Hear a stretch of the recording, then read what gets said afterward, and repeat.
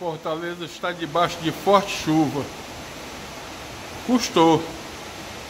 A chuva vem ameaçando, ameaçando e não tem chovido a contento.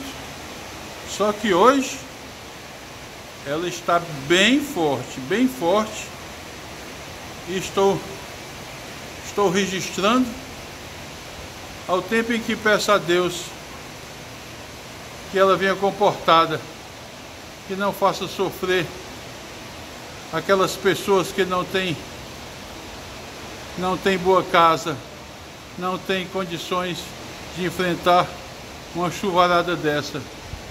Inclusive as pessoas ali da favela do, da favela do, do trilho, pertinho de nós. Que a chuva venha plena, mas que seja para benefício de todos. Isso é o que pedimos, rogamos a Deus que a chuva só nos traga benefícios. Pela chuva abençoada, demos graças a Deus.